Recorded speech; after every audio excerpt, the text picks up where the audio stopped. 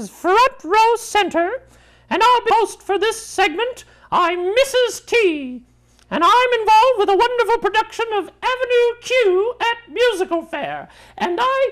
Uh, all right, that's enough. That, that's, that's quite enough. You- You'll be in the show, but I won't be in the show. Uh, but we are talking about Avenue Q, the smash hit Broadway show uh, that is essentially Sesame Street for grown-ups.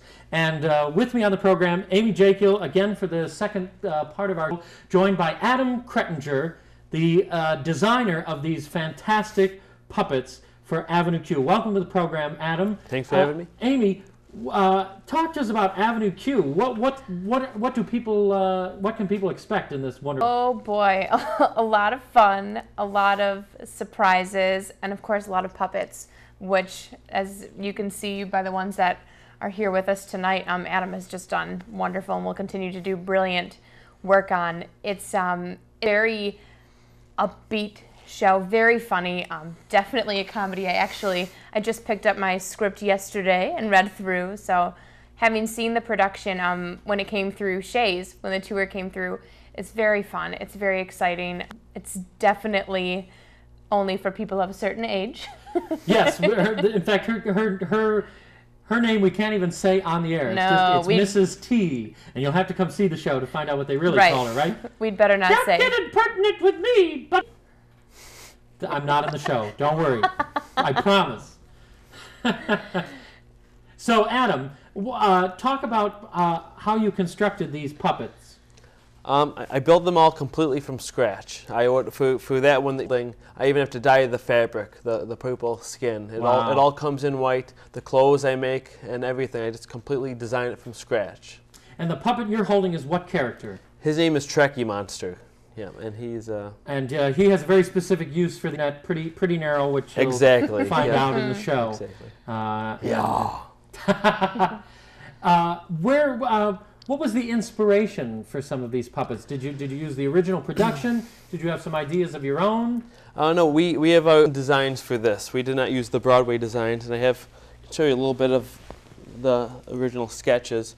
This was the original sketch for uh, for Trekkie, and it's uh, it uh, developed a little different uh, from the original. sketch. A little bit Mhm. of colors, like the horns are a little different, and I decided not to end up giving him a nose because it just became too many features uh, on the face. So I found it was better without it. Mm-hmm. And uh, for Mrs. Thistletwat, I was actually inspired by my great grandmother, so who's no longer with us anymore. Oh, But uh, but this this was her originally, and then I did a little sketch, like a caricature kind of puppet version. uh huh.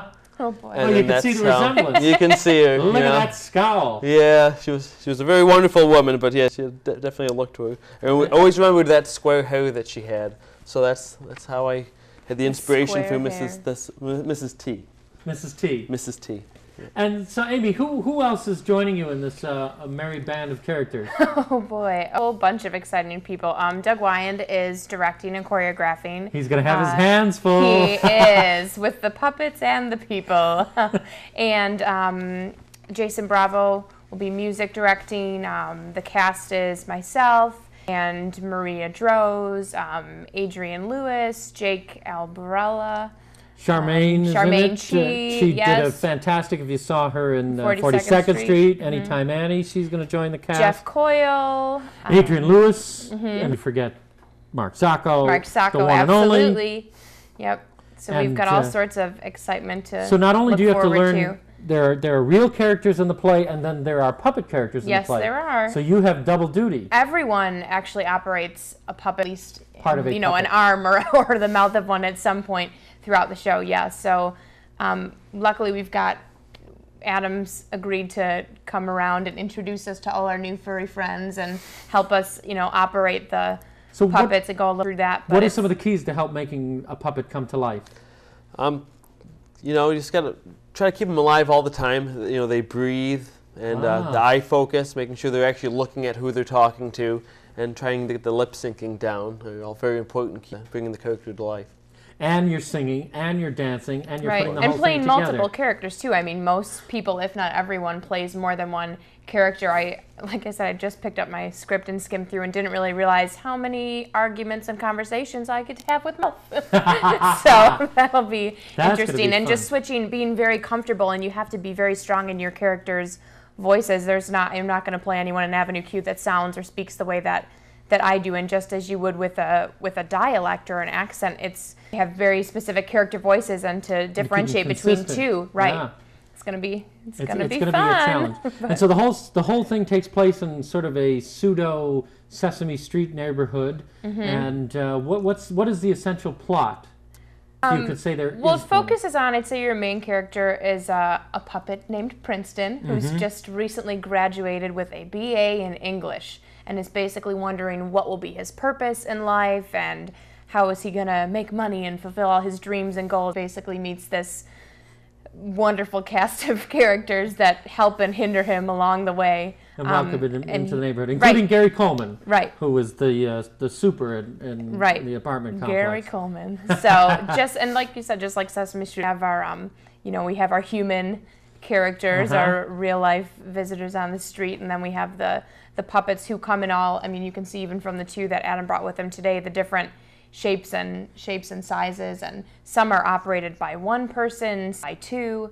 How, how many how many puppet characters are there, and then and and beyond that, do do multiple characters or do characters have multiple puppets when they're wearing different clothes? How does that work? Uh, yeah, I believe we have nine different characters, and for most of the main characters, we have to build two of each one so that one can have a costume change while the other one's on stage, and for, Wow. for things like that. So So you've got your work cut out for Yes, you I do. on this show, and these are all again built from scratch. Mm-hmm. Uh, it, it's a fantastic design. If you haven't seen this show, it's hilarious. Won several awards in New York. It's it's back it's back playing off Broadway, I believe. Yeah, Avenue Q actually came out um, on Broadway the same year as Wicked, which a lot of people are familiar with, and beat it out for the for the Tony. For best, so that was, uh, mhm. yeah. and that was very surprising to see a couple of strong shows at the same time. It's very, very funny, very clever. If anyone's familiar with um, Book of Mormon, which is on Broadway now, it's a lot of the same creative team. Right. So So how uh, when the the clock is ticking? When does the show open? When do you have to work we on all have until the end of January. We start rehearsing in a month and a couple days. So yeah, we've got a month and change until the fun starts. So I've been lifting my weights trying to get ready. And Get ready to Right, just there's to, things that you don't even right, things that you don't even think I'm of. getting is, a little anyway.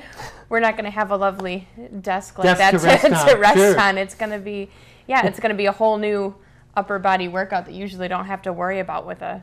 January with show. Mm-hmm. 25th through March 4th. And as we were talking in the last segment, once you're done rehearsing, no rest for the wicked. You're going to have plenty of opportunities to see this with six shows a week for six weeks. Absolutely, no excuses. No, no, uh, no excuses. Um, what uh, What are you most looking forward to in this experience? Oh my gosh, every I think that every every piece of theater is a wonderful new challenge and it has all this excitement. I think that the puppet aspect is going to be fascinating Sure. just to incorporate that whole component and I think it's going to be something that's very new to a lot of our audience members as well as cast. So that will be really And exciting. It, it, it is a little bit edgy, so it's not recommended for kids under 13. Absolutely not. but uh, teenagers, I guess, if you if uh, if your parents bring the teenagers, the teenagers will probably think you're really cool. Probably. I bet they will. So that's uh, definitely you're going to want to see this. Avenue Q at MusicalFare, uh, running uh, January 25th, and right now you can catch a class act at MusicalFare. Thank you both for coming on the program. Thanks for This having is us. time. My my pleasure. Uh, did you have a good time tonight? I guess I did, but it's a little uncomfortable sitting next to you. Well, again, I'm not in the show, but you're really going to enjoy it, and you're going to enjoy all of these wonderful people. This has been Front Row Center, a, uh, a special program of our Western New York Western New York Tonight program here on LCTV. I'm your host, David Bondro. Tune in next month when we'll be talking about all things theater. Good night, everybody.